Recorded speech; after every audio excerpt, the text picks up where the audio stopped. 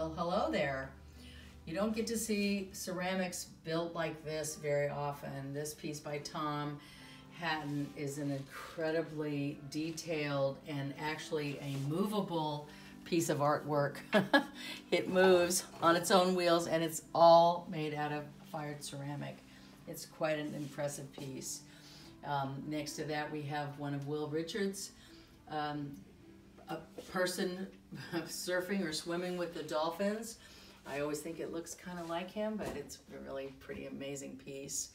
And um, above that are one of many of my mom, Patricia Doyle, um, original acrylics. I have uh, her quite a few of her pieces in here. Um, they're all a little bit different, but they're all pretty much um, her, in her uh, her special style. They're very popular here in the gallery. And above my mom's paintings are some of Julie's exquisite platters. Each piece is hand thrown and decorated in many different ways. Some of them have their own plate hangers to hold them onto the wall. Each piece is meant to be used actually, um, not just admired, but they're just fantastic pieces and we are very lucky to have them in our gallery.